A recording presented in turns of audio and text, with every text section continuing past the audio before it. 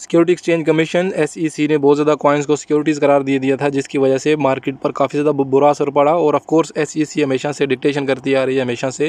ये लोग प्रेशर करते हैं, बहुत ज़्यादा कॉइन्स को, बहुत ज़्यादा एक्सचेंज का, इन लोगों ने ऑलरेडी कर दिया है, जिनमें से कॉइन तो बहुत ज़्यादा कॉइन्स थे, लेकिन XRP ने डिफेंड करने का या फिर फाइट बैक करने का फैसला किया था। अभी रोबन रॉबिन हेड ने भी फैसला किया था कि हम लोग ट्वेंटी सेवन का, अगर आप इनकी अनाउंसमेंट चेक करें तो हम लोग ट्वेंटी सेवन जून तक इसकी जो ट्रेडिंग है, ख़त्म कर देंगे, सोलानों की, कार्डानों की, और उसके बाद पोलीगान की मैटिक की।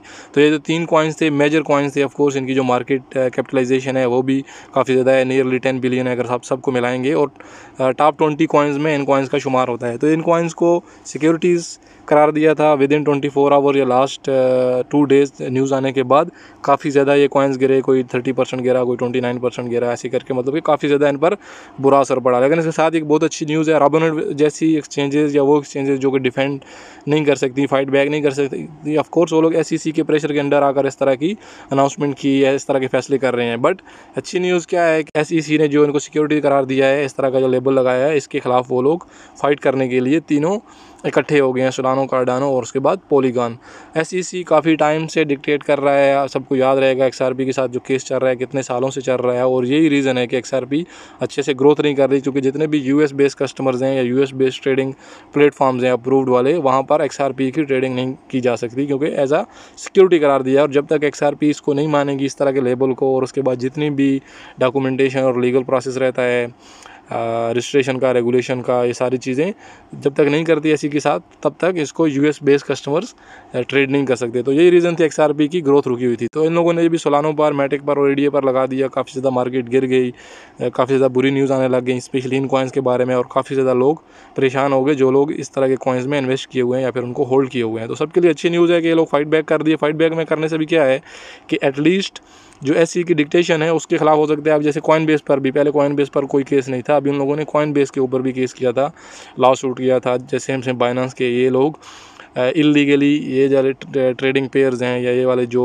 कॉइन्स हैं एज सिक्योरिटीज़ इनकी ट्रेडिंग कर रहे हैं, जो कि इलीगल है। किसी बंदे को परेशान होने की ज़रूरत नहीं है। आई होप कि अच्छी न्यूज़ आएगी, ये अप्स एंड डाउन स्पेशली अगर आप बिटकॉइन की ये जो मेजर कॉइन्स है बी की कैंडल्स देखेंगे तो उससे आपको आइडिया क्लियर आइडिया रहेगा कि ये कॉइन्स इन नॉर्मल वेज में भी नीचे जा सकते थे। आपको मालूम है, जब बुल रन होती है तो बुल रन लास्ट ईयर हम लोगों ने विटनेस की है कि विद रीज़न या फिर विदाउट एनी रीज़न मार्केट बहुत ही ज़्यादा ऊपर चली जाती थी पंप हो जाता था। और सेम ऐसे ही जब आप बिरिश ट्रेंड में रहेंगे तो छोटी छोटी जो न्यूज़ आती हैं इन रियल अगर वो रियलिटी में कुछ भी ना हो, फिर भी मार्केट पर बहुत ज़्यादा बुरा असर छोड़ के जाती है। लेकिन ये देखें बीएनबी का मंथली अगर आप कैंडल्स देखें तो बीएनबी अभी भी ऑलमोस्ट मिडिल में चल रही है, जो all the time high touch किया था। बिटकॉइन का आप देखें, यहाँ पर देखें, पिछले तकरीबन मंथली कैंडल में तीन मंथ से चार मंथ से बिटकॉइन ऊपर गया है। अगर हम लोग मंथली कैंडल देखें अप्स एंड डाउन्स थे इन बिटवीन लेकिन मंथली देखेंगे तो one two three four four month continuously up गया है। तो ऑफकोर्स इधर से थोड़ा सा डाउन ट्रेंड या फिर मार्केट को वापस आना था। ये एक नॉर्मल था बट ऑफकोर्स कुछ कॉइन्स जो ज़्यादा इफ़ेक्ट हुए मैटिक होगा पोलीगान हो गया, यहाँ यहाँ पर देखें मैटिक काफ़ी ज़्यादा नीचे गिरा हुआ है। ये मंथली कैंडल में है, पिछले चार महीने से कंटिन्यूसली डाउन ही आ रहा है, जो कि दो महीने तक, यहाँ तक तो बिल्कुल नॉर्मल है। बट ये वाला जो अभी बड़ी कैंडल्स बनी पिछले कुछ दिनों में, ये थोड़ी न्यूज़ की वजह से और जितने भी फियर था मार्केट में, उसकी वजह से ऐसा हो गया। अगर आप सलानों को चेक करेंगे तो सलानों आपको ये देखें साइड वेज में डिस जो स्टेबलाइजिंग कोर्स है, उसमें नज़र आएगा। चाहे आप इसको मंथली कैंडल में देखें या फिर आप इसको वीकली कैंडल में देखें, आपको ऑलमोस्ट सेम ही कैंडल्स नज़र आएँगी सेम ही तरह का पैटर्न नज़र आएगा कि बिल्कुल क्लियर इंडिकेशन नहीं है साइड वेज जा रहा है। आई होप कि अभी बुल रन अगर स्टार्ट होती है, क्योंकि बुल रन हमेशा बिट कॉइन हालविंग से पहले स्टार्ट हो जाती है इन रियल में but all the time high जो टच होता है, वो तो बिट कॉइन हालविंग के बाद होता है। बिट कॉइन हालविंग क्या होता है? कभी आपको एक ब्लॉक सॉल्व करने का जो रिवार्ड मिलता है ना माइनर्स को, पहले फॉर एग्जांपल 50 बिटकॉइन था, फिर उसके बाद 25 बिटकॉइन हो गया, फिर 12.50 बिटकॉइन हो गया, अभी कितना हो जाएगा मतलब 7.75 या समथिंग इस तरह रहेगा। तो बिटकॉइन हालविंग क्या है आपका जो रिवार्ड होता है माइनिंग का, वो हाफ़ हो जाता है भाई fifty percent fifty percent reduce हो जाता है। तो उससे बिटकॉइन की माइनिंग बहुत ज़्यादा स्लो हो जाती है, बहुत ज़्यादा कम हो जाती है और उसकी डिमांड बहुत ज़्यादा बढ़ जाती है, जिसकी वजह से बिटकॉइन की प्राइस काफ़ी ज़्यादा ऊपर जाती है। और ऑफकोर्स जो, जब बिटकॉइन की प्राइस बढ़ती है तो उसके साथ साथ पूरी की पूरी क्रिप्टो मार्केट की प्राइस भी बढ़ती है। तो अभी बिटकॉइन हालविंग 2024 अप्रैल में है तो एक्सपेक्टेड है।